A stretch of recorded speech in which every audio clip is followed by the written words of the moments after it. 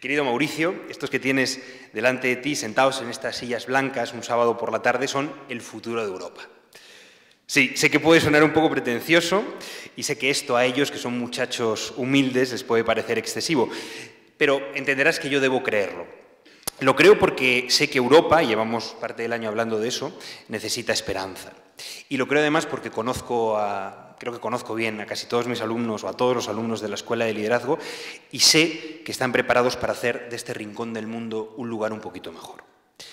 Son ellos jóvenes de entre 18 y 24 años, procedentes de todos los puntos de España, que además de ser brillantes en sus estudios universitarios, tienen fe en el hombre y así asumen como propia la tarea de entenderse mejor a sí mismos y a la sociedad a la que pertenecen.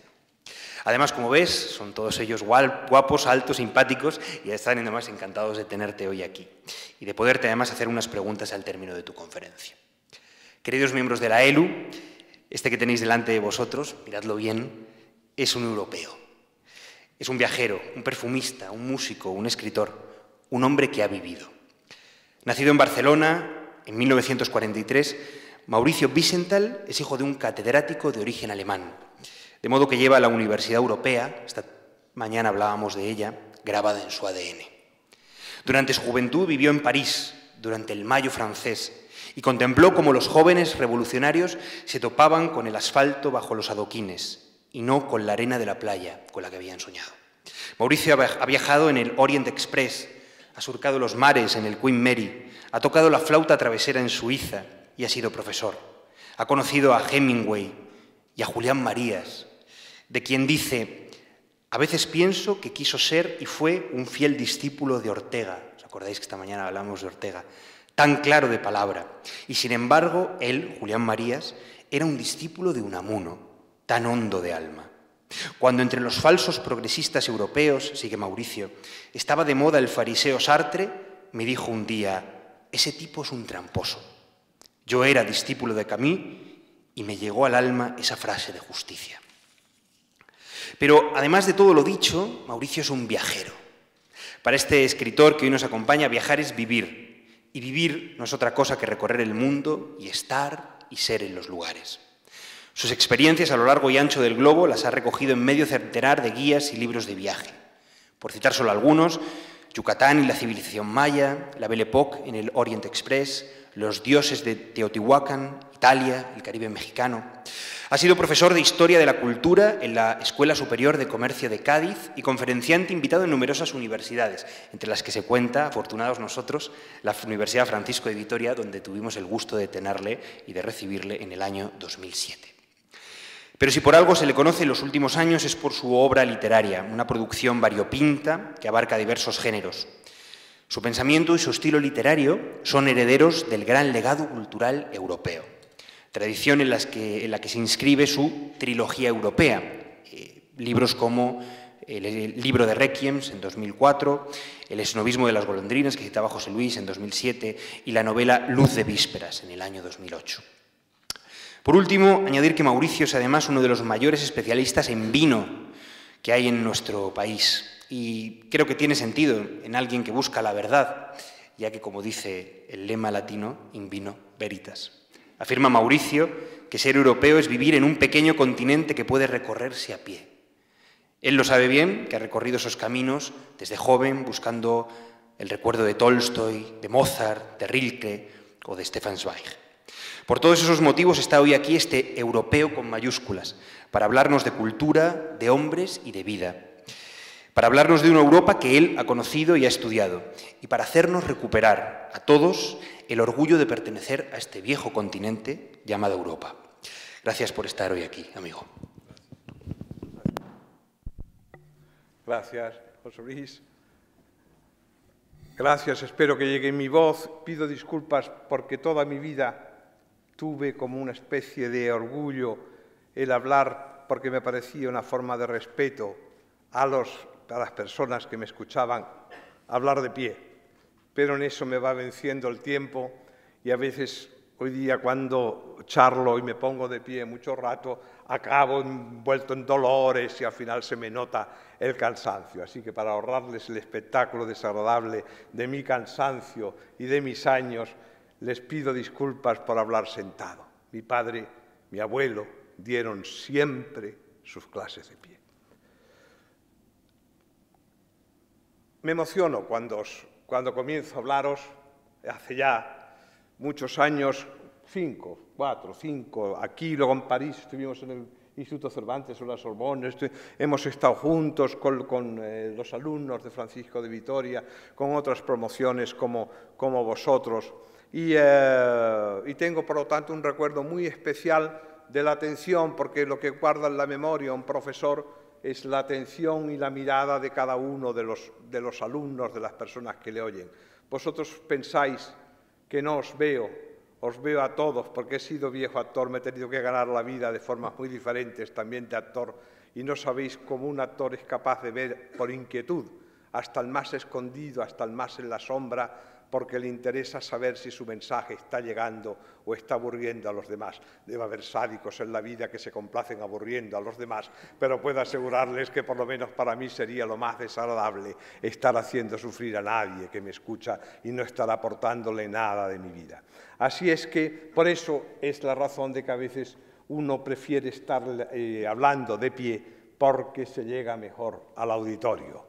Eh, con los años Después de haber hablado tanto en público, de haber cantado en público, me gané la vida en una época como todo, hecho de fotógrafo, profesor de esgrima porque fui campeón de esgrima, he sido eh, cantante porque me he ganado la vida cantando en los cafés, en los barcos, así me pagaban los viajes y podía recorrer el mundo.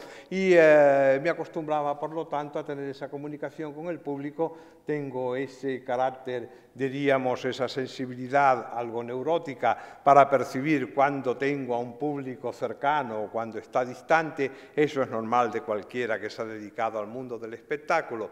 Y por eso, en todo ese largo periplo que hice en el mundo, fui por Europa y por fuera de Europa, pero hoy hablamos del mundo de la cultura europea, ya que, es el tema que nos reúne a todos, porque a mí me gustaría que me veáis como europeo y agradezco a Gonzalo que me, a José me han presentado como, como eh, europeo, soy fundamentalmente europeo, sin duda, por mi origen, por mi condición, por mi vida, pero me siento también en el mundo muy a gusto con gente de otras culturas, de otras religiones, que incluso me hacen sentirme europeo en lo que tiene de diferencial y me hacen sentirme muy a gusto. O sea, que el hecho de que yo sea cristiano, de que yo sea español, el hecho de que yo tenga una familia alemana, otra familia suiza, otra en Italia, otra en Suecia, no significa que cuando me encuentro en América del Sur, en Latinoamérica, me encuentro en mi casa porque comparto un tesoro que es la lengua española. Pero cuando me, encuentro entre musulmanes, he vivido en Estambul, y tengo una cercanía, una proximidad especial con los musulmanes precisamente por su idea de la fe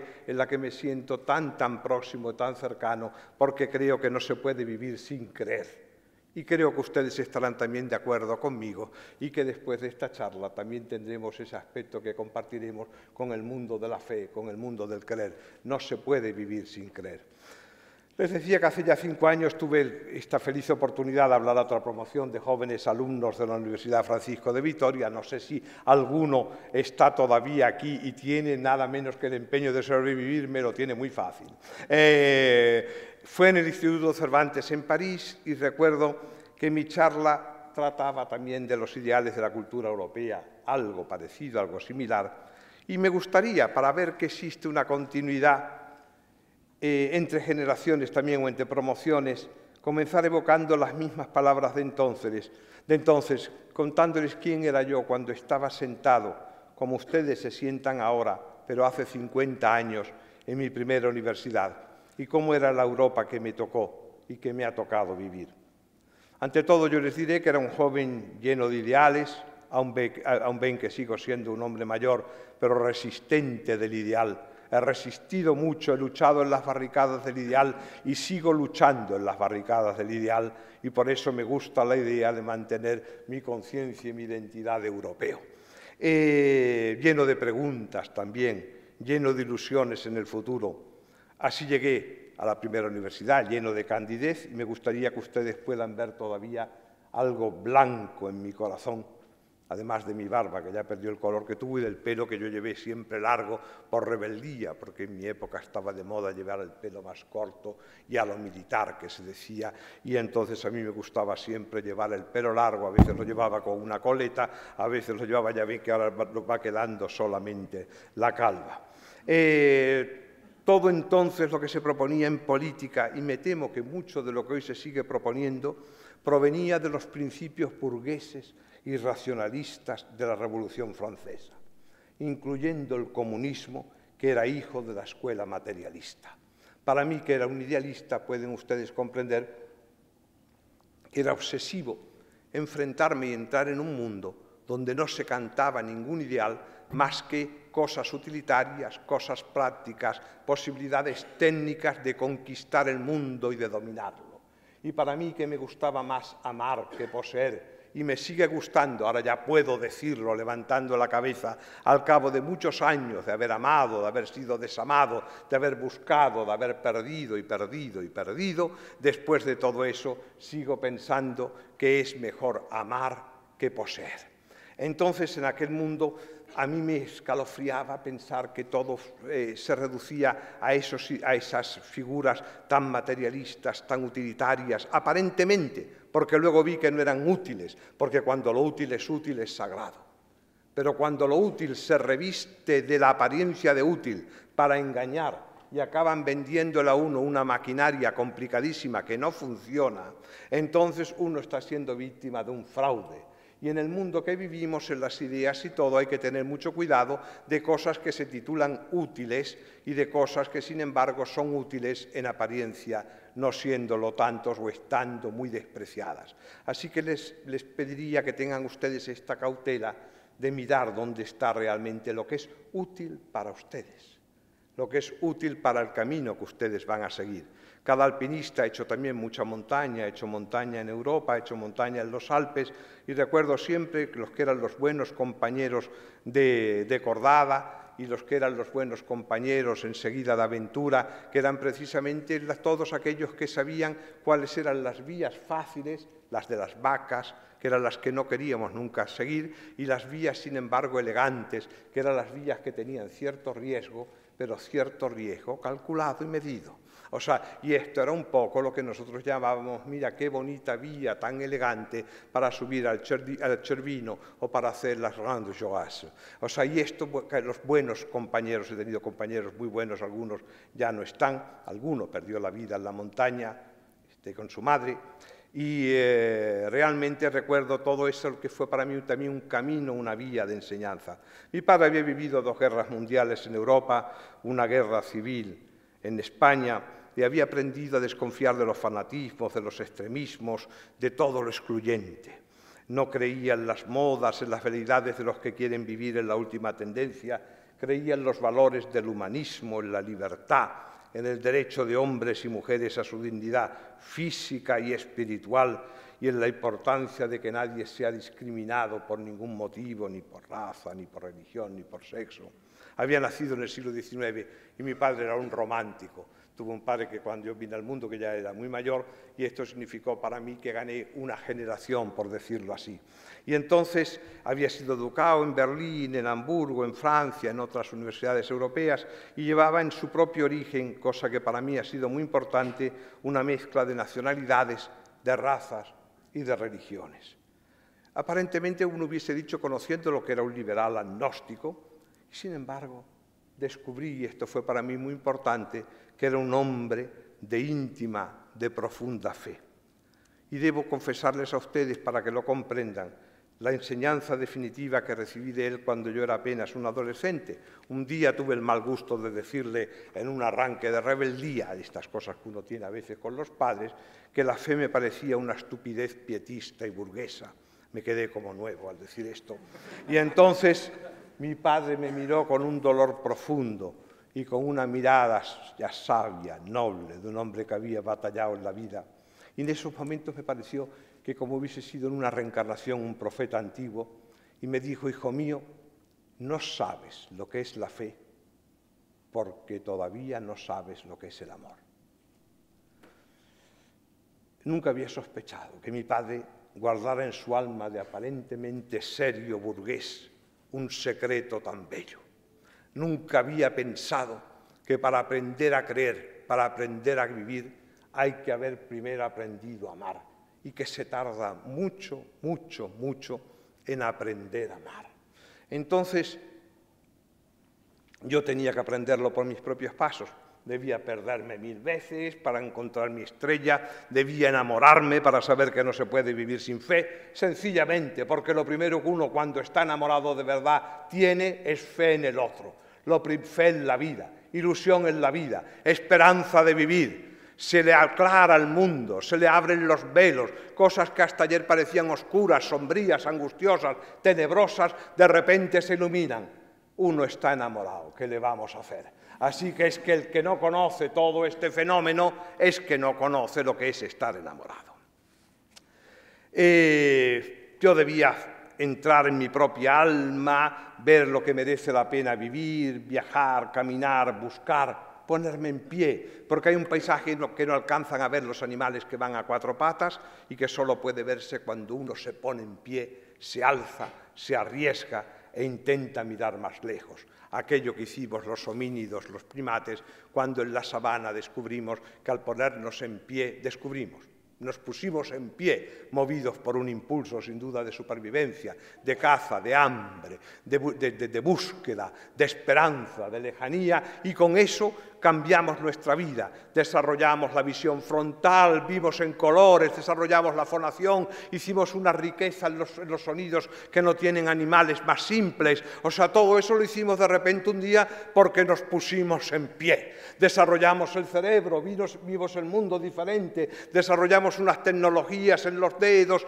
en los músculos para poder caminar, para poder tocar, para poder ser más hábiles, nos convertimos en hombres hábiles y todo eso lo hicimos un día que nos pusimos en pie. O sea, entonces estos pequeños detalles no son tan simples. Por eso hoy he venido a contarles a ustedes cómo, cómo salí a buscar aquellas cosas que había vislumbrado yo ya en los libros, en los juegos, en, los ardores y en las, en las quimeras del primer amor romántico y hasta en la piedad ingenua de mis primeras oraciones de niño. Doy mucha importancia a mis primeras oraciones de niño Tenía una madrina, mi madrina había sido, era mi tía, había sido educada en Rusia y me enseñaba a encender una vela junto al icono de la Madonnina, junto al icono de, de Nuestra Señora de la Virgen antes de irme a dormir. Y recuerdo incluso la oración que ella rezaba y me explicaba, porque me decía que hay que dar gracias al cielo por la luz. Y yo que venía de España, donde no conocíamos, no conocemos las noches largas del invierno nórdico, me ponía a llorar porque me producía una infinita ternura siendo un niño, pensando que hay que dar gracias por la luz. Así se me ocurrió un día salir al camino, recorrer Europa, pensando que el Santo Grial era el tesoro de luz que nuestros antepasados escondieron dentro de la cultura europea. Ahí sigue estando escondido y ahí está para que se lo lleven aquellos y aquellas que sean capaces de acercarse sin miedo a ese tesoro. No es un tesoro único que no pueda compartirse. Maravillosamente es por eso que es cultura, maravillosamente puede compartirse, puede amarse, lo que no puede ser poseído. Puede desearse, puede contemplarse y esperarse. Ese es lo que tiene de bello la luz y eso es lo que compartimos precisamente. Sé bien que hay muchas razones para el desánimo, hay corrupción, hay guerras, hay amenazas ecológicas, terrorismo, conflictos de intolerancia, fanatismo. Y sin embargo, yo quisiera hablarles de que una generación joven, si quiere sobrevivir, necesita cometer una subversión del horizonte pesimista para crear un renacimiento optimista.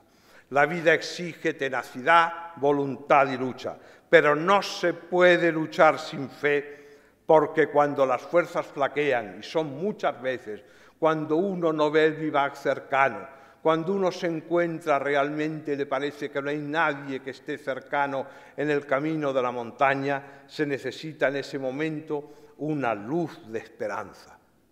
Ustedes jóvenes no les podemos quitar la luz de esperanza porque no les permitiremos salir de las barricadas. Ustedes deben luchar por una luz, Ustedes deben creer en ella, pero no pueden creer racionalmente, deben sentirla en el corazón. De eso quiero hablarles. Ustedes comienzan un camino, me encuentran a mí que soy un peregrino viejo que nació en una época quizás más conflictiva que esta. Me eduqué en una Europa que no tenía tantas comodidades ni tanta riqueza como la actual, pero conservaba todavía algunos ideales de su pasado. Había dos mundos políticamente enfrentados y cuando en Zúrich, en Alemania, con mis padres encendíamos la radio, escuchábamos en una confusión terrible los programas de propaganda que nos enviaban los rusos, los franceses, los ingleses, los americanos, desde el sótano del viejo café Landsmann de Viena transmitía, recuerdo, sus conferencias Georg Lukács un pensador marxista insoportable y aburridísimo. Y recuerdo que cuando eso ocurría mi padre encendía la radio y ponía una cara de preocupación terrible que se le eh, desvanecía cuando conseguía sintonizar música de Mozart o de Schubert.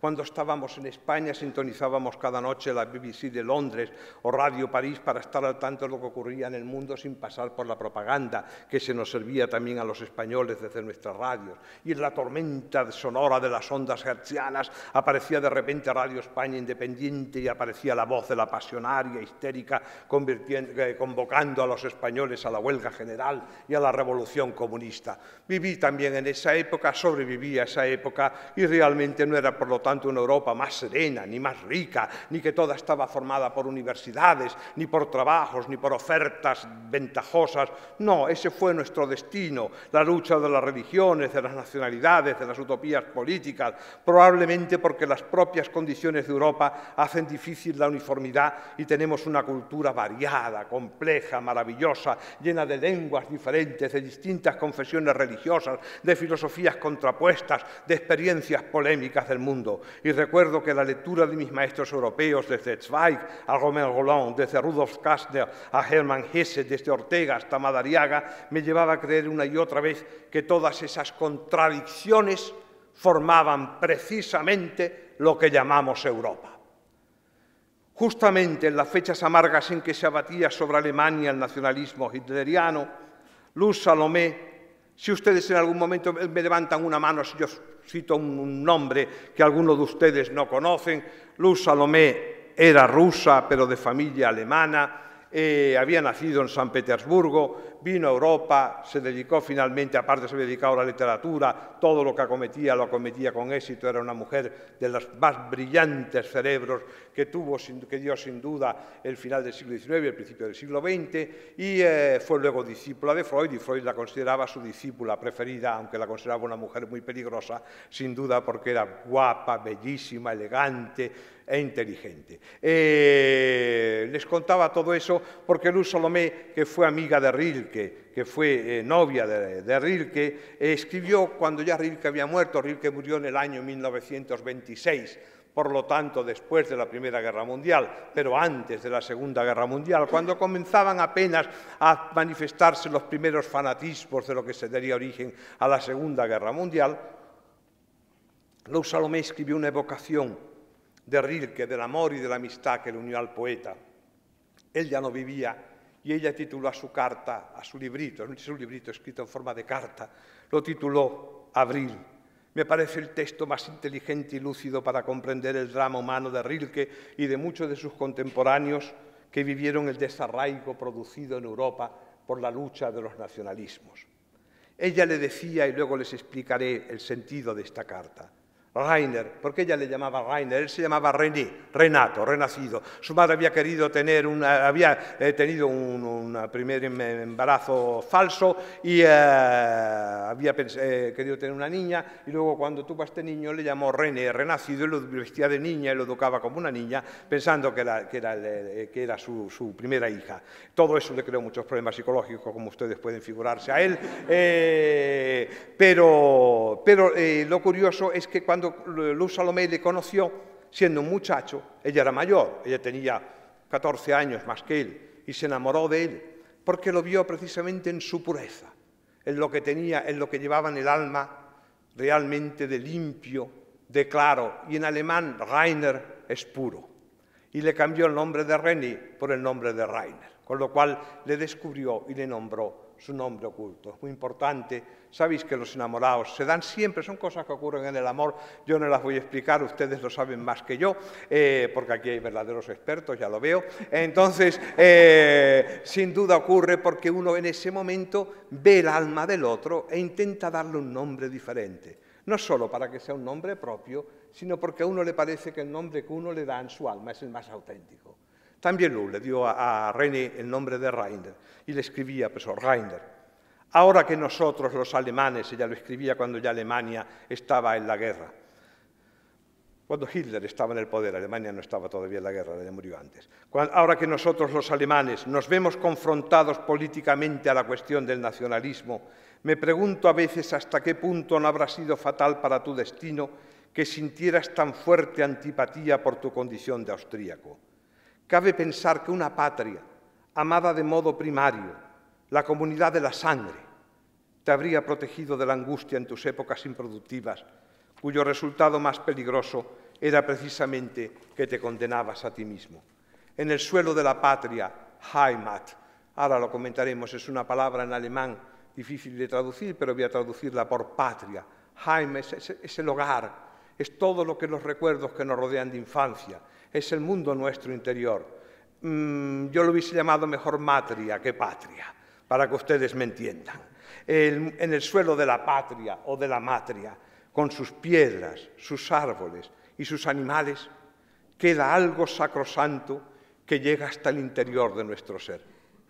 Eso le costó a Rilke muchos malentendidos. Había nacido en Praga y tenía en el momento de morir un pasaporte checo momento de morir porque acababa después de la Guerra Mundial, saben ustedes que lo que era el Imperio Austrohúngaro se dividió y así como Hungría consiguió su independencia, también lo que era la antigua Bohemia se convirtió en la República de Checoslovaquia, que luego se dividiría también. Pero por lo tanto, en el momento de morir tenía un pasaporte checoslovaco porque había nacido en Praga.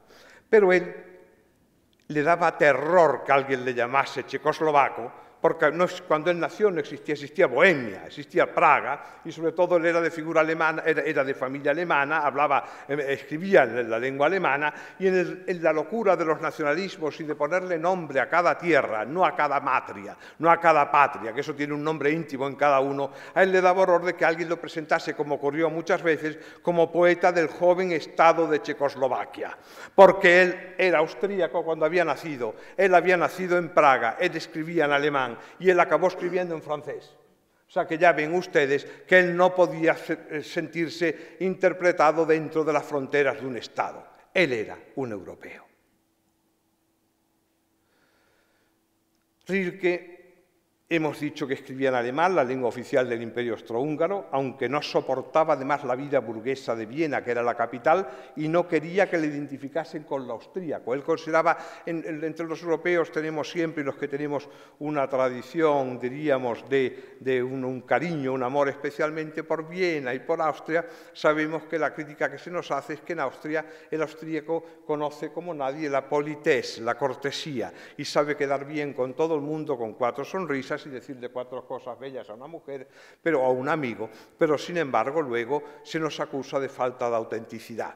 Sea, Rilke no podía soportar que le acusasen de falta de autenticidad, así como Hofmannsthal lo aceptaba perfectamente porque se consideraba representante del mundo austrohúngaro y creía que la polités, esa educación, forma parte de la cortesía, forma parte, por lo tanto, de un mundo caballeresco que heredamos desde la Edad Media.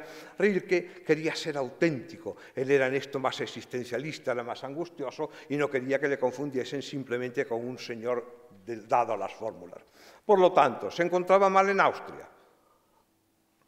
Se encontraba mal como checo, porque no se consideraba checo porque no hablaba checo, porque había sido educado en alemán. Y era detestado por los nacionalistas alemanes porque escribía en francés. Con lo cual esto le creaba uno de los grandes conflictos que han creado siempre en nuestra Europa. Y si suman a ustedes a esto diferencias religiosas entre católicos, protestantes, anglicanos, ortodoxos, judíos y musulmanes, ya ven ustedes por qué es tan difícil comprender a Europa desde el racionalismo y se necesita la cultura, la poesía, la fe, los ideales, las tradiciones, el arte, los sentimientos, las matrias para entender. Porque somos una mezcla de experiencias que recibimos desde nuestra infancia, y no se nos puede eh, eh, resumir en unos esquemas cuadriculados en los que funcionan perfectamente los estados, en los que funcionan perfectamente los impuestos, en los que funcionan perfectamente las organizaciones de partidos o militares o sociales o lo que ustedes quieran. Nosotros llevamos en el alma toda una herencia, una tradición de complejidades, de cosas que para nosotros son sagradas porque forman parte de nuestra infancia, de nuestra madre de nuestro Padre, de nuestro mundo infantil, y tenemos que tener mucha delicadeza y mucho cuidado cuando tratamos esos temas, porque con facilidad nos enfrentamos y así nos ha ido en Europa. Es fácil ser, diríamos, nacionalista excluyente a quien tiene una idea localista de su origen, pero los seres humanos procedemos de la mezcla de muchas culturas, de genes, de religiones. Las naciones se han formado y deformado por leyes caprichosas y violentas, atrapando en su seno a pueblos distintos que han sufrido la discriminación y la injusticia de quedar sometidos. La puerta giratoria del nacionalismo a veces no perdona a quien no encuentra su sitio en ese vaivén de la historia. Pero Rilke, por ejemplo, era tan checo como austríaco, tan judío de origen porque su madre era judía de origen, como católico de religión porque era un católico educado en las escuelas pías, en los piaristas, en el culto de la Virgen María. Por lo tanto, ya ven ustedes que... Y luego era también tan alemán como francés porque vivió muchos años de su vida en París y describió por eso sus últimos poemas en francés. Eso es un europeo, ese es nuestro drama, nuestro dama o nuestro tesoro. Solamente les invito a que no quieran darle a todo eso nombres fáciles, soluciones políticas inmediatas, porque van a, cometer tremendas injusticias sobre seres humanos, tremendos dolores que afectan a la lengua, al sentimiento, a la religión, a las cosas más arraigadas profundamente. Busquemos formas de concordia, busquemos formas de entendimiento, fórmulas de solamente así podemos crear Europa. En alemán la palabra Heimat es el hogar en un sentido íntimo, tiene una connotación, ya les he dicho, matriarcal de memoria, a pesar de que los nazis y muchos nacionalistas hasta nuestros días intentaron utilizarla como un concepto político que se confunde con el derecho a la autodeterminación. No tiene nada que ver la patria con el derecho a la, autodeterminación. El sentimiento de la Heimat es innacional. La memoria de los pueblos no tiene fronteras, no tiene ejércitos, no tiene alambradas, porque es un concepto cultural y no político. Para Cicerón, la nacio era algo parecido que hacía referencia al hogar y al seno materno, por eso la palabra deriva de nascor, de nacer, se identificaba con el nacimiento. Por eso les digo que cuando hablamos de la patria tiene que ver también con nuestro nacimiento, con nuestra matria con todas las connotaciones hogareñas, alimenticias. Fíjense ustedes lo que significa para nosotros, seres humanos, nuestros recuerdos alimenticios, la extrañeza que nos produce llegar a un país o a una cultura que se alimenta diferente de nosotros. Tres días es divertidísimo estar en Tailandia. Al cuarto día, la salsa que le dan a ustedes con el pescado les recuerda cuando aquí ese, ese pescado no lo hubiesen comido porque les hubiese parecido que no era bueno. Pero a los tailandeses les parece exquisito. O sea, eh, hay mucho cuidado porque hay cosas de estas que llevamos tan arraigadas en nosotros, los griegos, cuando los jóvenes griegos, cuando querían jurar, por decirlo así, fidelidad a su tierra, peregrinaban al santuario de Agraula, de Agrulia, y juraban fidelidad a toda tierra que produce pan, aceite y vino. Eso es la patria. Se sentían expatriados, extraños de países en todo lugar donde se cocinaba con mantequilla en vez de con, aceite de oliva, donde no se comía pan, no había pan o el pan era ácimo, donde no había vino. Ellos se consideraban extraños, formaba parte de su cultura. Todavía los musulmanes se identifican no bebiendo vino, o muchos musulmanes. O sea, es decir, las costumbres dietéticas, todo eso forma parte de nuestra condición, de lo que somos. Por eso se nos identifica como europeos o se nos identifica como cristianos cuando estamos viviendo por el mundo, no cuando vivimos en la tribu todos tatuados con el nombre de mamá sino cuando salimos al exterior, cuando nos encontramos con gente que piensa de otra manera, que ve la vida de otra manera, que lucha de otra forma, y entonces nos identifican y dicen, mira, es un europeo. Es ahí donde ustedes van a tener la conciencia clara de lo que son. Desde dentro van a tener definiciones siempre parciales y hablaremos de ellas. Es una maldad, por ejemplo, Europa no puede ser una, una guerra de nacionalidades, porque una madre no es una guerra ni una disputa, sino un hogar, una reconciliación una forma de entenderse. Cada hijo es diferente, pero la madre cuando los agrupa, eso es lo que crea el hogar, es que en esas diferencias se agrupan en torno a lo común. Y una de las cosas comunes es el sustento, son las tradiciones, son los juegos, son las, eh, incluso las fiestas. Son los momentos de, alegría en la familia, la familia. Todo eso forma parte de un mundo que tenemos que reconstruir cuando hablamos de nuestra familia europea. O sea, lo que ocurre es que el mundo, la idea terrible del Estado todopoderoso, de la nación como Estado, de la nación-Estado, es una idea francesa, terrorífica. Les han estado ustedes enseñando los profesores durante años y años lo terrible que era un señor llamado Luis XIV, que se llamaba el Rey Sol, que decía el Estado soy yo. Pues a mí me da lo mismo que el Estado sea Luis XIV que sea su padre, sigo teniendo un problema con el Estado. No es que fuese Luis XIV lo que me molesta. Me molesta la idea de que se puede crear algo todopoderoso que puede ir incluso al encuentro y contra mi idea de lo que es mi identidad, mi idea de lo que son mis costumbres, mi idea de lo que es mis tradiciones. Y eso es donde tenemos que tener mucho cuidado porque ya ven ustedes que si vamos al siglo XX, los que crearon grandes estados, desde los nazis hasta los soviéticos, no son los mejores ejemplos que podríamos citar. Es una maldad decir que no existe Europa, sino que lo que existe es un pacto o una federación de flamencos, alemanes, españoles, italianos, griegos, portugueses o lo que ustedes quieran. Es una mezquindad o una falacia, porque como españoles, alemanes, flamencos, portugueses somos ya europeos. Somos hijos de Tiro, de Jerusalén, de Roma, de Atenas, de Creta, de Venecia, de Lisboa, de Bagdad, de Toledo, de Viena, de Londres, de París, de Sorbón, de Salamanca, de Marburg, de Sevilla, de Heidelberg, de Lovaina, pero no de una Lovaina flamenca y de una Lovaina balona de lengua francesa, de Lovaina, porque cultura solo hay una. Y si los jesuitas todavía levantasen la cabeza, en Lovaina se estudiaría el latín.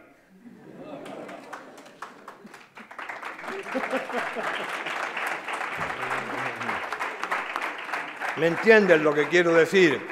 Europa no puede ser un Estado cerrado, porque la historia de nuestros viejos imperios nos llevó a ser hijos y hermanos de otros pueblos del mundo. Nosotros somos hijos de imperios. Cuando yo llego a México y algún amigo mexicano querido, tengo en, México amigos que son como hermanos, o sea, hay amigas que son como hermanas, y si sale alguno de repente que le viene una vena antropológica, indigenista, y me dice de repente, porque los imperios, digo, si yo soy hijo de imperios, yo hablo el español, que deriva del latín, bendito sean los romanos. Yo he heredado el mundo griego, que es que está precisamente en mi cultura. Yo soy hijo de fenicios, yo soy hijo de cartagineses, yo soy hijo de musulmanes, yo soy hijo de los imperios.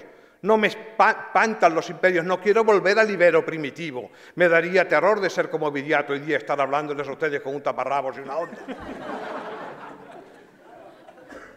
O sea, hemos tenido que evolucionar, hemos tenido que cambiar nuestras costumbres, poner encima, superponer muchas ideas y esto nos ha enriquecido. Y por eso nosotros también somos hermanos e hijos de otros pueblos del mundo, de América, de Asia, de África. E, Europa es madre de muchos hijos, por eso yo he llamado una matria y no es un Estado y no puede tener otra entidad que la de la cultura. Y cada vez que desde Bruselas, cada vez que desde algún sitio se intenta crear una especie de caricatura de Estado, se está creando una injusticia tremenda sobre nosotros los europeos y sobre la gente que viene a trabajar con nosotros o a integrarse con nosotros.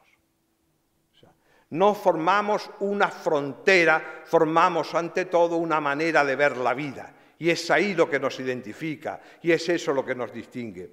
Los europeos tenemos demasiados estados, muchos, pero todos tenemos una patria europea. Y queramos o no, disimulemos como lo disimulemos, pertenecemos a esa madre común que los políticos han destruido mil veces y es la historia de nuestra familia y se nos nota en el alma que somos hermanos de la misma madre. Salgan ustedes de Europa, vayan a cualquier parte del mundo a vivir y comprenderán lo que digo. Recuerdo haber viajado por Hungría, por Chequia, por Polonia, por la República Democrática Alemana, cuando eran provincias del Imperio Soviético, y me bastaba entrar en un café o escuchar el lamento de un piano encerrado en un piso como un pájaro enjaulado para darme cuenta que estaba en mi vieja Europa. Cuando vivo en Latinoamérica, siento también todo lo que compartimos los europeos, la fe, la lengua, los ideales, los principios cívicos nacidos en Grecia y Roma. Es maravilloso pensar que compartimos una misma lengua y formamos, por lo tanto, más allá de las diferencias eh, nacionales, una patria espiritual. Nuestra lengua común nació del latín pero juntos españoles e hispanoamericanos le dimos significado cristiano y sentido humanista a ciertas palabras de que el derecho romano aplicaba con frialdad filosófica y sin pretensión de piedad ni tolerancia. Por eso creamos palabras nuevas entre nosotros y Latinoamérica como gratitud, gratitud. Los romanos la utilizaban muy poco y le dimos importancia a vocablos como compasio, compasión, que apenas usaban en el mundo romano. Sin estas palabras, no podríamos ser como somos los latinos, pueblos que necesitamos inventar palabras para el corazón. Por el contrario, me bastaba llegar a Estados Unidos, el país que recogió generosamente a tantos europeos, que nos sacó de la miseria, que nos libró de un loco que nos gobernaba, que nos dio pan. Recuerdo todavía cuando yo era pequeño en Viena, la ayuda americana, la American Hilfe, las, las hogazas de pan negro, la sopa que se daba en los comedores a los niños. Recuerdo las madres en Alemania entre los escombros buscando agua los niños, jugando entre lugares donde podían encontrar una granada que no había explotado o podían encontrar un escape de gas, un incendio, cualquier cosa. Recuerdo en aquel mundo lo que significó la ayuda de los americanos, de los norteamericanos a Europa. Nací, por lo tanto, en una Europa en llamas y recuerdo bien que los europeos, en la barbarie de nuestros nacionalismos, llegamos a bombardear la catedral de Rennes. Sé, por lo tanto, lo que era la ayuda americana en la Europa en ruinas donde nací. Pero aquel mundo que nos había librado de todos estos males, de todos estos terrores, no era, sin embargo, mi madre. Mi madre es Europa. Ellos ayudaron a mi madre les estoy agradecido y les puedo dar las gracias emocionado, pero no puedo cambiar mi madre por otra cultura.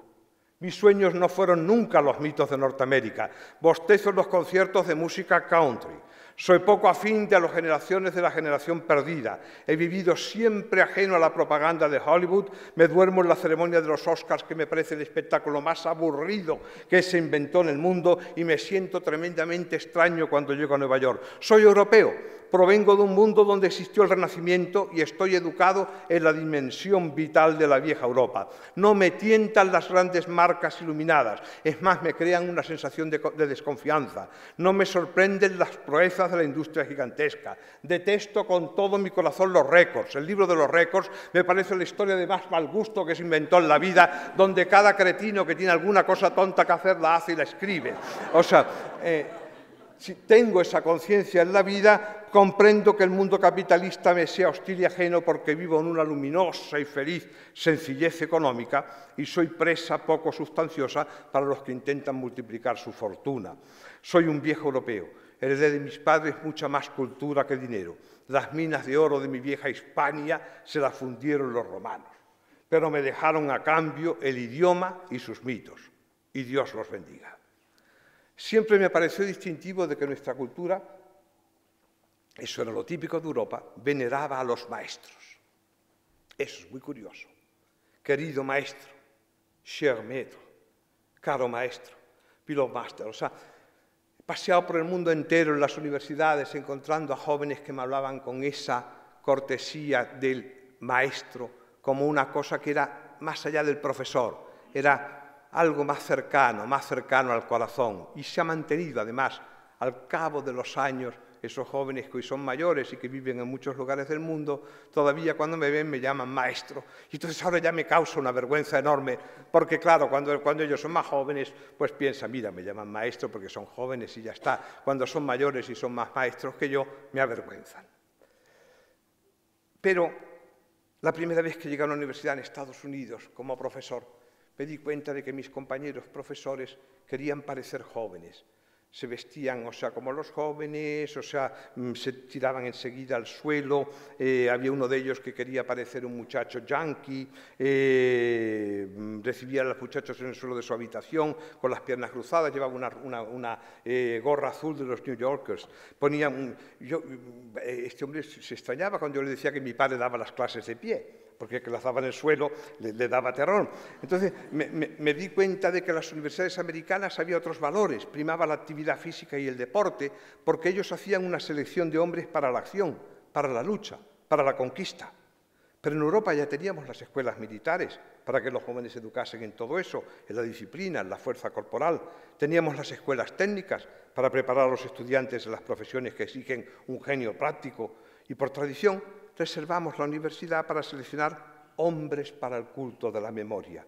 Ese fue siempre el ideal de nuestra enseñanza universitaria, hombres y mujeres que transmitían la cultura y que guardaban el culto de la memoria. Y todavía pienso que el destino de Europa se juega, quizás es ya tarde, en que sepamos mantener ese elemento distintivo. Recordemos que la ordenación del pensamiento filosófico y científico, la Wissenschaft, en una memoria racional y crítica que es posible transmitir y enseñar, nació en Europa. No sé por qué se olvida hoy que fuimos nosotros los europeos quienes, peor o mejor, inventamos el concepto de universidad. En Oxford, en la Sorbona, en Siena, en Alcalá, en Salamanca, teníamos claustros, ese patio ordenado en arcos que parece pensado para la memoria interior, antes de que en Princeton se hablasen, hablasen de yards o de campus, que son espacios dispersos. Me convertí enseguida en un motivo curioso en el campus de aquella universidad donde yo enseñaba y creo que hasta cierto punto me gané la simpatía de mis compañeros y de mis alumnos porque me miraban como si fuese la última atracción de un parque temático llamado Europa. Me vestía con mi corbata de lazo, porque sencillamente cada uno tiene sus mitos en la cabeza, todos tenemos mitos. Hay quien le gusta tatuarse porque tiene un buen eh, deportista o alguien que admira, un boxeador, quien sea, un, jugador de fútbol que, lleva los tatuajes y se pone los mismos tatuajes, o una muchacha se pone de tal forma los pendientes porque los ha visto en una mujer a la que admira, en una profesora, en una, estudiosa que ha hecho algo importante en el mundo, lo que sea, tenemos nuestros mitos. Y mis mitos, muchos de ellos llevaban lazo. Algún día voy por la calle y con un día recuerdo en Barcelona unos muchachos a la entrada de un instituto de muy buena fe, porque no, no, no era una crítica mm, agria, no era nada violento, sino uno de ellos, al verme pasar con un sombrero, mi, sombrero de fieltro, me dijo, mira como Indiana Jones, advertía a los amigos. Y yo le decía, no hijo como Indiana Jones, no como mi padre, como Puccini, que era el anuncio de Borsalini, de Borsalino. O sea, como tantos, o sea, cuando llevo la, corbata de lazo, vengo como Mahler, vengo como Rilke, vengo como, como Thomas Mann, vengo como tantos de mis maestros a los que ustedes ven que mimetizo, porque uno al, al querido maestro lo mimetiza. Eh, lo que pasa es que mis maestros para ustedes son ya muy antiguos, pero yo todavía los tengo cercanos y los llevo en el alma y los hago, se los hago presente a ustedes. Les decía eso porque entonces yo me iba con mi corbata de lazo, con un sombrero de fieltro que me había costado una fortuna en Viena, porque yo llegué arruinado ya para siempre a Estados Unidos después de haberme comprado aquel sombrero. Y aunque mis compañeros vestían de manera más informal y llevaban la camiseta de la universidad, yo no renunciaba al culto de la memoria, de las viejas fórmulas europeas, para que viesen ya como un juego que yo era el profesor europeo que andaba por allí. Pero el último día de curso, para gastarles una broma, me hice imprimir una camiseta con un Goldwynista. Saben ustedes que Goldwyn, el, cineasta, eh, es famoso porque decía unas butad, decía unas frases que hacían reír a todo el mundo. De, este tipo de... Siempre hay personajes en una sociedad que los destaca porque dicen cosas que parecen que son cretinas y sin embargo tienen un significado si se miran desde otro lado. Y yo me hice imprimir una frase de Goldwyn en la camiseta que decía no tires nada a la papelera sin sacar por lo menos una copia. Entonces, eh, esta frase tan tonta eh, a ellos les hizo pensar. Y pensé que en nuestra vieja Europa hay muchos que rápidamente la tirarían a la papelera, pero hay muchas cosas de ella que merecerían sacar una copia. Mis maestros europeos me enseñaron a creer en la memoria y recuerdo que yo tomé como lema una frase de uno de ellos que me dijo, en la vida es muy importante saber olvidar, pero para olvidar hay que tenerlo todo en la memoria. Max Weber, el sociólogo, en el invierno de 1918 nos había advertido ya que Europa estaba perdida. Les hablo a ustedes para que vean también con realismo que ya arrastramos el problema de Europa y de la entidad de Europa desde bien antiguo. Después, en 1918, recuerden ustedes, pónganse en el tiempo, pónganse en el escenario, es el momento gravísimo en que estamos en el final de la Primera Guerra Mundial y todo lo que era el equilibrio europeo, todos los grandes imperios, ha desaparecido el Kaiser con su imperio, ha muerto en 1916 y, eh, Francisco José en Austria y el imperio austrohúngaro va a caer también en estas fechas. 1918 eh, significa la caída de Europa, por decir, del viejo orden europeo. Y en ese momento Max Weber, en una intervención en Múnich, en una conferencia, sociólogo, dice, Europa está ya perdida, ya no queda nada de ella ni volverá a reconstruirse nunca. La comprarán los Estados Unidos y la China. Es muy curioso qué versión profética en un momento en el que todavía eso era difícil encontrar. Pero no solamente fue Weber quien dijo eso en ese momento, sino maestros como Tolstoy o como Romain Roland eran conscientes de que los Estados Unidos iban a colonizar Europa sin ningún reglamento moral diferente de un proyecto materialista y capitalista basado en el bienestar social. Iban a convertirnos en un parque temático de gente acostumbrada a vivir bien. Esto era la idea que en 1918 en la vieja Europa, en la vieja Europa de los sacrificios, de la lucha, en la vieja Europa de los ideales, en la vieja Europa que teníamos en la memoria del Renacimiento, la Edad Media, épocas muy duras de peregrinación, un largo un camino recorrido, descubríamos que nos íbamos a convertir de repente en esa, en esa sociedad en la que ya iba a ser difícil mantener una formación científica a la europea, porque nos iban a hacer creer que mantener una clase intelectual es, eh, eh, que era, era para ellos menos importante que formar una clase económica. Y esto es lo que ha ido ocurriendo en Europa. Llevamos muchos años creando una clase económica y sin tener una clase cultural ni una clase intelectual. Y esto ya fueron muchos, es por eso que se hizo tan antipático Tolstoy, el viejo Tolstoy, es por eso que se hizo tan antipático Romain Roland, es por eso que se hizo finalmente tan antipático, aunque lo era de nacimiento, ya Rilke. Eh, eh, no había ningún motivo para hacer eso, porque el mundo de la justicia y de la ciencia no están reñidos con los principios espirituales y morales. Se destruyeron los principios espirituales y morales sin otra razón que la conveniencia de una sociedad burguesa y capitalista que nació de la Revolución Francesa. A los arribistas les interesaba eliminar los valores de excelencia. Era más rentable jugar a la inflación, imponiendo en el mercado los valores especulativos de la multiplicación de las máquinas industriales, en vez de elegir como patrón oro los valores del trabajo y de la obra bien hecha. ¿Qué es hoy día una moneda? En alemán tenemos un concepto muy claro porque cuando hay una devaluación, en alemán eh, la valuta, lo que en otros países llaman la valuta, la moneda, lo llamamos también el valor, con lo cual una devaluación es una devaluación del valor. Cuando ustedes dicen una devaluación de la moneda, eh, todo el mundo más o menos se lo cree y al día siguiente está funcionando otra vez. Pero cuando en alemán dices que ha habido una devaluación del valor, te asustas. Entonces hay algo por lo que ha ocurrido en nuestra sociedad, una devaluación del valor. Y esto es muy preocupante porque eso nos lleva a engañarnos a unos con otros, pagándonos, por lo tanto, con basura. Pagándonos con algo que no vale, que dice que tiene un valor, pero que no lo vale. Hemos creado un euro inflacionario que está todavía en discusión, porque nos falta lo que es el valor de las cosas. Y el valor de las cosas solamente se puede cotizar en trabajo, para que sea un valor moral. Trabajo en inteligencia, claro está. Entonces, cuando una cosa vale mucho, pero exige poco trabajo, hay un elemento de inflación que se ha metido en ella y que otro puede copiar. Esto es algo que me preocupa mucho porque de ahí viene de a quién beneficiaba la muerte de aquellos antiguos valores, la negación de la fe, el olvido de la escuela clásica que nos enseñó a combatir por lo selecto, por lo excelente. Si me dejan hablar indignado como Cicerón, eh, repitiendo incluso sus palabras, cui bono, cui prodest, ¿a quién beneficiaba todo eso? ¿A quién beneficiaba la antigua escuela de los maestros sencillos? ¿A quién favorecía la, la desaparición del mundo piadoso e iniciático de nuestras abuelas? Cui prodest, cui bono. O sea, es que nuestras abuelas eran tontas es que por el hecho de no haber tenido una facilidad para, crear una, sociedad práctica como la de hoy o para formar parte de unos trabajos como los que hoy pueden desarrollar afortunadamente las mujeres, es porque ellas no lo tuvieron, por lo que eran tontas. ¿O ellas crearon una cultura que pasaban a sus nietos y a sus hijos? ¿O es que esa cultura la vamos a suprimir pensando que estamos inventando una nueva que va a sustituir aquella? No había valores en aquella cultura. Habían perdido el tiempo nuestras madres y nuestras abuelas durante siglos, durante milenios. No habían hecho nada. No vamos a creer este discurso que estaban sometidas como si fuesen gallinas metidas en un gallinero. O habían creado con la inteligencia de la mujer no solamente a sus hijos, les habían educado, los habían llevado, los habían amparado, les habían dado una fe, unas creencias, una explicación del mundo, una explicación que todavía no nos ha dado ningún científico.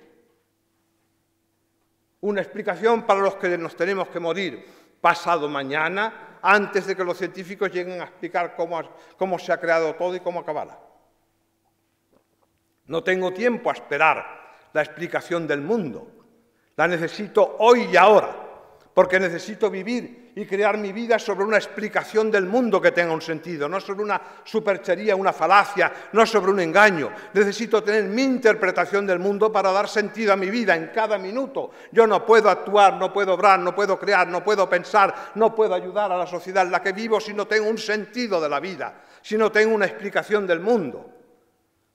Y las abuelas y nuestras madres daban una explicación del mundo hablaban del amor, hablaban de la fe, hablaban de la piedad, hablaban de unas palabras que se van olvidando, arrinconando, como si fuesen palabras inútiles. Un día las repasan ustedes, las palabras de los cuentos, las palabras de los cofres de las madres, las palabras de sus recuerdos, las palabras de sus dibujos, los colores de sus pinceles, los colores de sus cintas, los cajones donde guardaban álbumes, cartas, fotografías, nombres de antepasados. Un día repasan ustedes esto en casa. Un día se quedan solos, es muy sano psicológicamente, y entran en el desván de la abuela. Y entonces ahí está Europa. Ahí van a encontrar Europa. No la van a encontrar en otros discursos. La van a encontrar en ese mundo de los petits objets y curiosamente de los petits objets de femme, de los pequeños objetos de mujer. Porque ellas guardaban los pequeños objetos. Qué curioso, yo que era un niño pensaba qué pesadas son, guardan siempre pequeños objetos.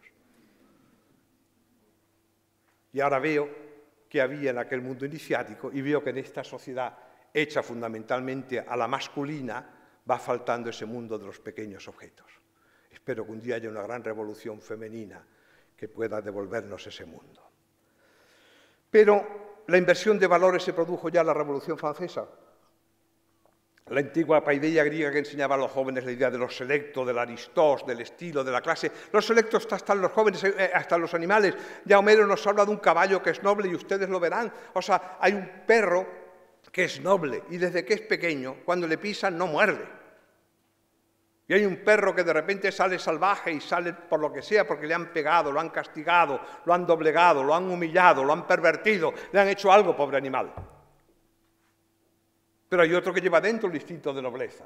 Yo era pequeño, tenía cinco años, iba montando a caballo, el caballo tropezó en un camino, iba solo. Mis padres iban en aquel momento separados diez minutos así de donde yo iba caminando, el caballo iba al paso porque caballo llevaba un niño arriba, yo lo conocía, era siempre mi caballo, siempre lo montaba, el caballo tropezó y se cayó.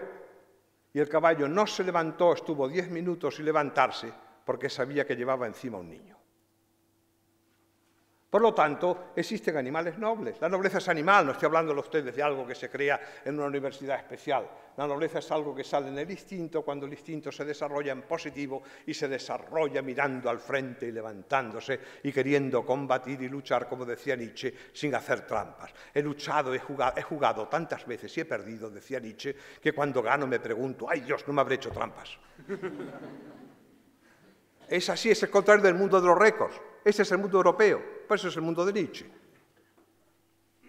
El mundo de los récords es yo gano siempre como sea. Yo soy el número uno. No tengo nunca a nadie delante. El mundo de Nietzsche es cuando estoy el primero me pregunto, ¿no le verdad un empujón a alguien? Bueno, eh, por eso nuestras madres y nuestras abuelas conocían misterios iniciáticos, que eran sabios. Ellas quizás no conocían, no habían leído a Hegel o a Marx, pero leían también obras de San Agustín, Dante. Yo recuerdo, repasen los libros que tenía su abuela, eh, Pascal de Chateaubriand, y, ahora cuando los veo, historias de caballeros andantes, historias de santos, yo cuando lo miro y ahora lo leo y pienso, pero cuánta sabiduría hay aquí dentro, hay biografías interesantísimas. Y ahora me vienen de repente haciendo propaganda de un bestseller de mala muerte que cuenta una vida que no tiene comparación con la vida de San Francisco de Asís y me la quieren vender como una vida de un señor que amaba a los animales. Tú, pero ya he conocido a alguno que los amaba. ¿Y cómo? Vidas consagradas a la fe, a la esperanza, al amor, gente que luchó, gente que luchó perdiendo, gente que vivió una vida entera en la caballería andante, mujeres que fueron símbolos de toda una época, mujeres que crearon, hombres que crearon. Eso está en la historia, lleno. Nos van a inventar un mundo nuevo, un mundo por Revolución Francesa. Todo el mundo anterior no existió no existió el Renacimiento, donde no, hubo nadie, no hubo un joven que siendo un joven como ustedes creó la pietad. Y mira que hizo la capilla Sistina ya de mayor, de viejo, cuando cercano a los 90 años todavía andaba por el Vaticano y creaba aquellos andamios, aquellas máquinas, y le dolía la cabeza de pintar mirando al cielo, y sin embargo ya de joven había creado la obra más maravillosa, la pietad, que pueda crear un ser humano. La pietad la compasión, algo sin lo cual una cultura no es civilización, algo que hemos negado y que siguen negando los políticos, confundiéndolo con la filantropía. La filantropía no es la piedad, la piedad es un sentimiento, la filantropía es una razón de justicia, pero no podamos comparar nunca la justicia con el amor. Cuando ustedes les traten con justicia, les faltará la mitad del pago, y la mitad del pago es el amor.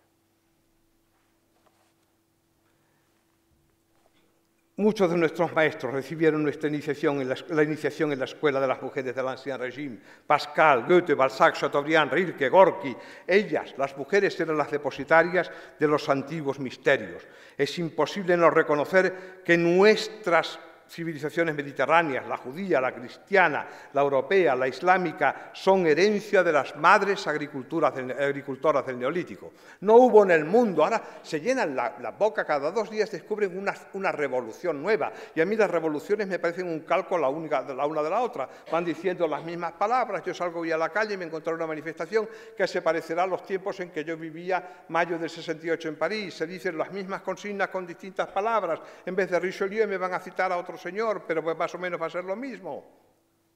Es que no, no ha habido revoluciones profundas, integrales en el mundo, como en el neolítico hicieron las mujeres.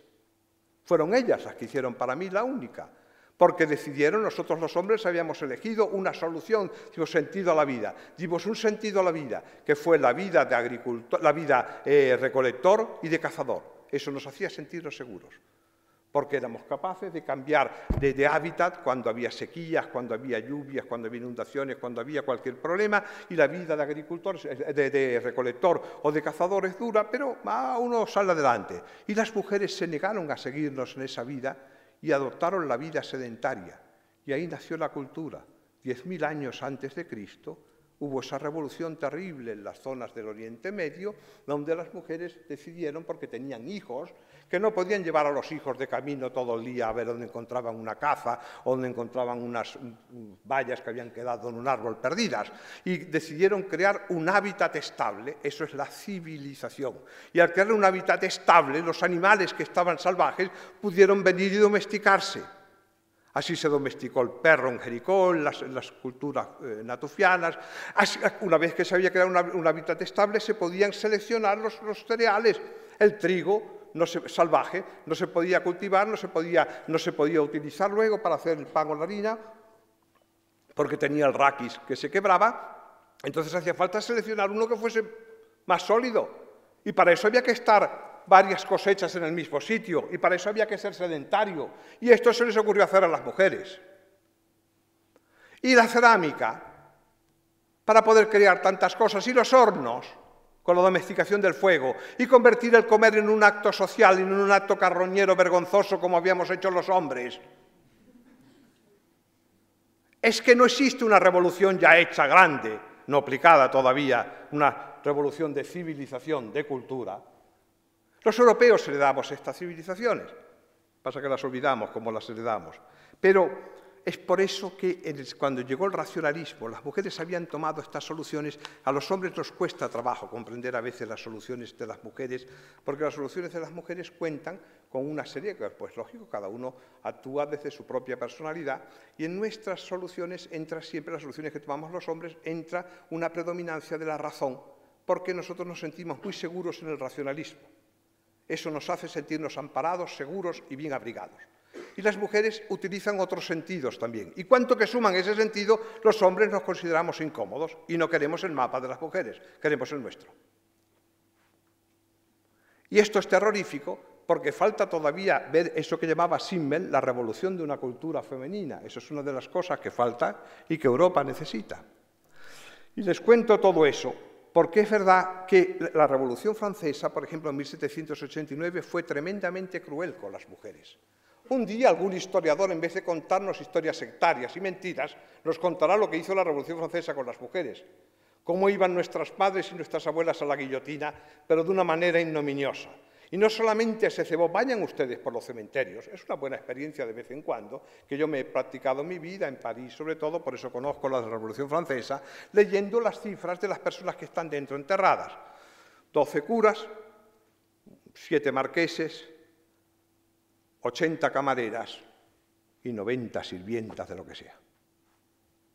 O sea, fue tremendamente cruel. A Elizabeth Minet se la llevó Robespierre, aquel personaje besánico, atrabiliario y odioso, lleno de que nada más que buscaba lo que era la encarnación de lo más terrible que hay en el hombre, la burguesía, la pequeñez por excelencia. A Elizabeth Minet la condenó, y ahí están las páginas del juicio, yo me los he leído todo. Tuve esa paciencia porque en mi época se hacía propaganda nada más de que la Revolución Francesa parecía que había cambiado el mundo, porque dijo palabras bellas en las que creemos todo, como la palabra la palabra igualdad yo no creo, pero sí que creo en la palabra justicia, claro está. Eh, creo, creo en la palabra fraternidad tremendamente y creo maravillosamente en la palabra libertad y bendito sean. Pero todo eso lo hicieron condenando todo lo que a ellos les parecía supersticiones del ancien régimen. Y en las supersticiones estaba la fe, estaba la piedad, estaban los cajones de nuestra abuela. Y todos esos fueron eliminados para crear un mundo racionalista en el que los hombres nos sentíamos seguros y a las que las mujeres fueron luego incorporadas, pero nunca reivindicando también su historia, su cultura. Dicho esto, me acuerdo de vez en cuando, cuando era joven y recorría el Volga, recuerdo que llegaba a una aldea, unas aldeas con unas islas perdidas, en las que me acordaba de Gorky, porque es donde Gorky había escrito su novela La Madre, y donde recordaba sus, sus, eh, eh, tenía sus recuerdos de niño. Iba de la mano de su abuela. Y un día su abuela le dio una lección tremenda, una lección de estas que llamo de abuela, una lección de madre, una lección del ancien régime. Y le dijo, hijos míos, nos ha ido mal en la vida porque no hemos sido suficientemente generosos con los que no tenían. Y en esa idea de la piedad de la babushka, de la abuela, la abuela lo sacaba de noche, lo llevaba de la mano, iba a dar lo que ella llamaba limosnas secretas. Eso marcó la vida de Gorky. Limosnas secretas era dejar unas galletas en las isbas donde ella sabía que no había comida. O sea, esto es una idea, igual que encender las velas que yo decía para que la luz no se vaya. Eh, ese mundo de lo que yo llamo de las reinas de la noche es un mundo que fue quedando perdido. Está en nuestra cultura europea, pero fue quedando perdido en el siglo XIX y en el siglo XX y hasta lo que llevamos del siglo XXI, que vamos heredando de una cultura que es la cultura norteamericana, que se hizo después de la Revolución Francesa, olvidando que nosotros tenemos bastante historia antes, de donde todavía no extraemos nada como si fuesen unas minas agotadas. Yo les diría a ustedes cuando estudien, cuando piensen, cuando intenten darle sentido a la vida, no partan desde Hollywood, partan desde un poco antes. Recuerden la pietad, recuerden la Edad Media, recuerden todo eso que forma parte, no digamos, nuestra cultura clásica. Eh, la vieja Europa fue el mundo de las formas. Por eso Rodin decía, hay que devolverle al pueblo la fe y la mano del Creador. Europa fue un mundo de formas, todo el mundo abstracto, racionalista, es un mundo superpuesto sobre la cultura europea porque el Renacimiento se basó en la sensualidad de las formas, no en un mundo de abstracciones. Y hasta el mundo de las abstracciones, si alguno es matemático y me sigue, sabe que está basado en las formas, el mundo profundo.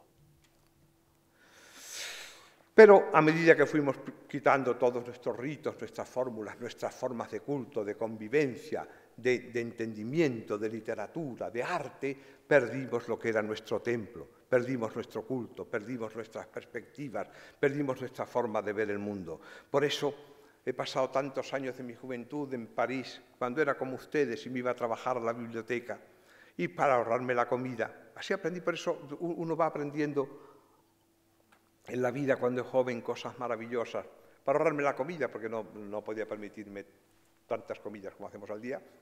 Entonces, al mediodía me quedaba en la biblioteca trabajando, pero claro, me cansaba, y entonces me iba en la calle Richelieu, calle maravillosa, donde murió Molière, donde Molière quedó muerto en el último gesto trágico de la inmovilidad, que es el gesto más terrible para un actor.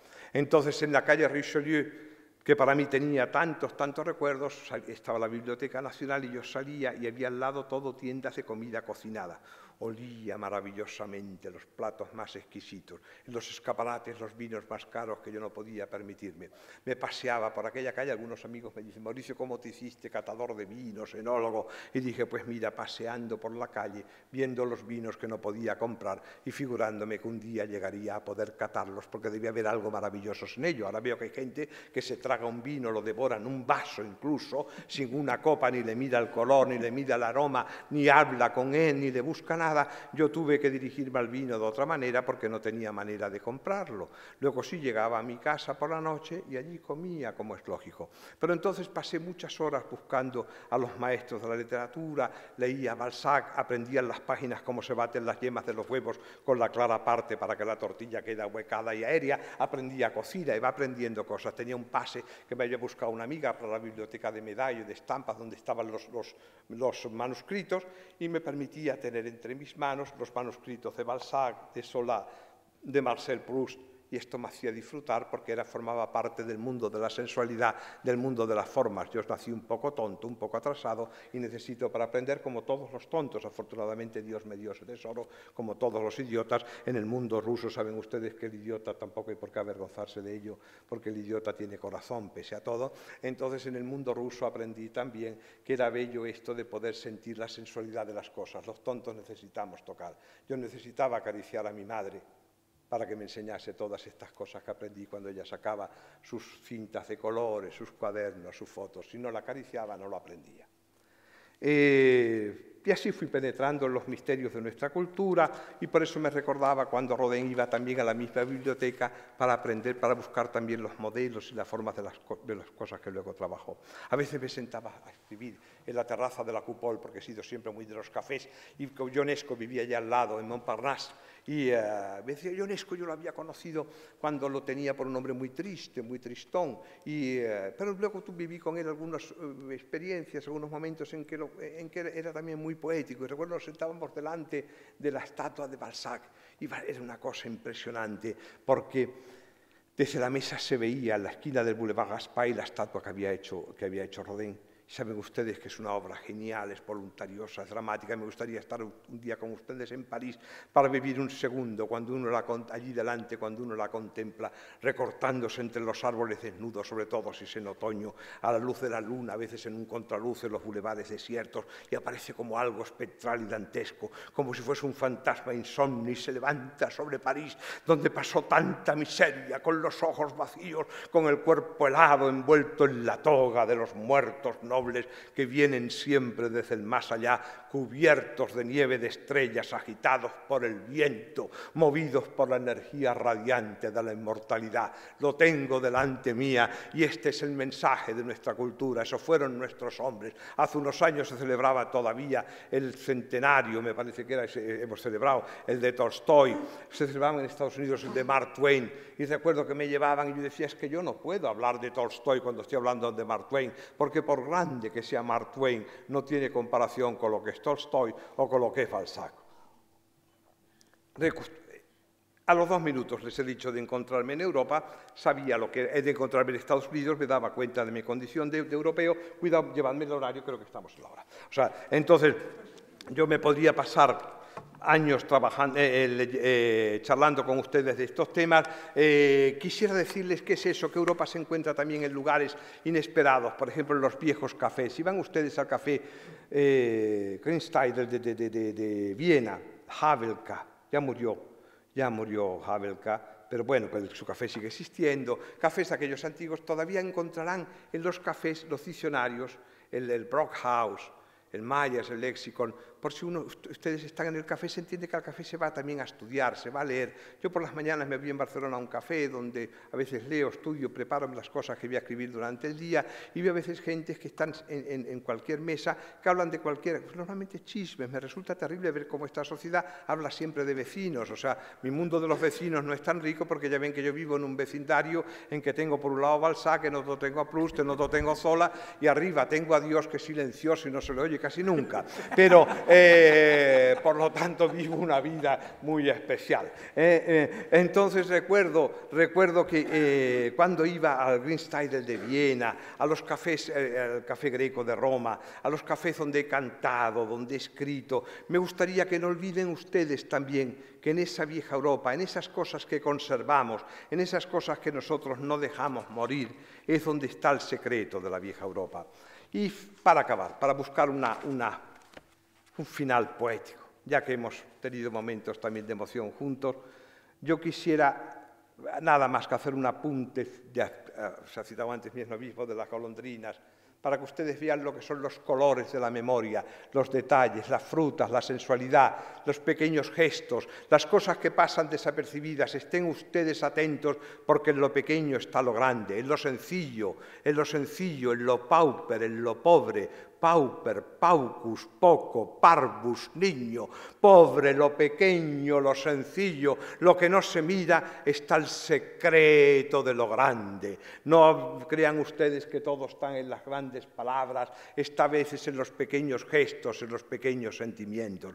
Búsquenlos busquen el detalle, anden por el mundo con esa mirada atenta, minuciosa, microscópica que es la mirada del viejo europeo, porque sabe que se oculta en la caja donde pone un, dibujado un, ruiseñor, en esa caja que tenía la abuela, cuando uno la abre está el secreto de la vida. les pido por favor que anden con cuidado con los cajones. Todos los cajones tienen doble fondo. Desconfíen de aquel que les habla de un solo fondo porque ha olvidado mirar el segundo fondo del cajón, donde están las cartas más queridas y más secretas. Y quisiera acabar esta charla sobre la memoria europea, igual que comencé con un recuerdo emotivo personal. Se remonta a los años de mi juventud, cuando vivía en Estambul, y la incluí en mi libro lo mismo de las golondrinas, y quiero leerlo como lo escribí. La primera luz del día acariciaba las casas de madera oscura, descoloridas por la lluvia, convirtiendo los cipreses y las ruinas en una acuarela inglesa. El canto del muecín se escuchaba como el grito del Milano negro, acompañado por el rumor de los barcos que atracaban y salían de los embarcaderos. Y una muchedumbre atareada se dirigía al mercado egipcio, a los destartalados tranvías que subían a Pera, a los transbordadores de la costa asiática, a los patios donde se detenían las caravanas y en las que aún se veían artesanos trabajando el metal y las maderas. Antes de hacer mis oraciones en la mezquita me sentaba a leer a mis poetas místicos, sobre todo a Fusuli, que había escrito un diván donde se enseña a amar, es decir, a vivir como un loco sin estar loco. Merece la pena perdonar a las criaturas solo porque lo merece su madre. Y no me cansaba de repetir los versos de Fusuli. Soy el rey de la caravana de los dolores, peregrino fiel del desierto de las penas. Una mañana me di cuenta de que un niño inquieto, curioso, muy flaco, me seguía con los ojos embobados y parecía intrigado por un perro con una oreja cortada que me acompañaba a todas partes desde que yo había llegado a Estambul. Y el pequeño caminaba también dificultosamente y sostenía uno de esos cofres dorados tan característicos de los limpiabotas de Estambul que en sus manos parecía enorme. Y de repente salió corriendo como un perrito atolondrado. Pienso que había visto pasar a un turista americano y adivinó un posible cliente pero sus pies torpes refalaron sobre la calle mojada y se quedó tendido en el suelo, rodeado por los frascos rotos que cayeron de su caja. Los tintes amarillo, azul, negro se derramaban dibujando girasoles y surcos sobre la acera como una pintura fo. Se llevó las manos a la cara, pero no rompió a llorar. Me pareció que su dolor era aún más profundo. Les di unos billetes para que se comprara una caja nueva y él tendido en el suelo me miró con unos ojos inolvidables, avergonzados de su torpeza, como dándome a entender que nadie puede pagarnos en la vida los primeros colores rotos. Nunca he visto unos ojos tan puros y tan inconscientes de la injusticia del fracaso. Desde aquel día me siento responsable cada vez que la mirada de un niño o de una niña se posa sobre mí. Responsable es la palabra que mi padre quería hacerme aprender cuando llegaba a casa después de haber roto mi cofre de colores o de haber gastado todo mi dinero en una aventura ingenua. Memoria es la palabra que me gritaba las muñecas que tenía con las que jugaban mis primas y que yo a veces no comprendía.